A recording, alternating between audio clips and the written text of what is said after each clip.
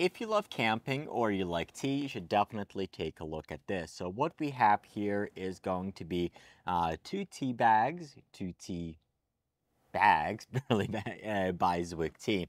So what this is actually meant for is going to be for people who are going camping. Uh, they do have these in multiple other different sizes and flavors, but this we have the two pack right here. So we have a pot of green tea and a pot of black tea. So the way that these are designed to work is you already have the tea in here. Uh, what you're going to do is you're going to pop open the spout. You're going to tear the bag right on the bottom, and then you have a Ziploc container here. Then you're going to fill it with water. You're going to let it soak for about 30 seconds to two minutes, depending on how uh, strong of a tea that you'd want. And then you can basically just pour it and use it that way. So very, very cool idea. Um, if you're going camping, uh, it basically you're not going to need to bring out another pot with you or anything else like that.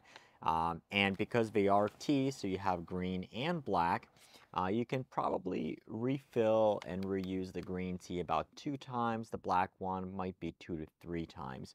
So um, overall, really, really, really cool gift. I would say it's not the most economical thing to do versus just using loose leaf tea. Um, however, when you're comparing it versus camping accessories and uh, camp food, uh, this is definitely going to be an attractive value. So from ZWYK Tea, we have a pot of green and a pot of black tea.